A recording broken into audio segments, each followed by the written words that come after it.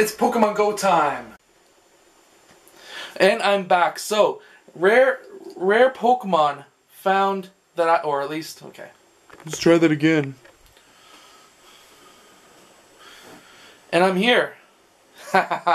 so, uh, today I was down in Burlington, Ontario at Spencer Smith Park, which is down by the the lake area. It's a really nice area. There was a lot. I wish I took my camera. I was getting an oil change. I didn't bring a camera. I just wanted to go for a walk. Went for an 8K walk. Anyways, some rare Pokemon that are down there. It is a hive for rare Pokemon. There was a Teddiursa. That, that little thing, right? I don't know if you can see. That little thing. Yes, there's lots of those.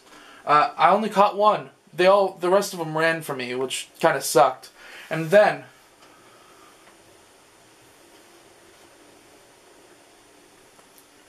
And then there was a Sunkern, which I don't think, I'm not too sure if it is rare, but there's not too many of them in this area, so I caught one. And then, something that's even more rare than probably both of them, I would assume, is a Chikorita. Yes, there was a ton. It's a hive. It's a hive for Chikoritas. Check this out. I have caught so many of them. Yes, that little guy.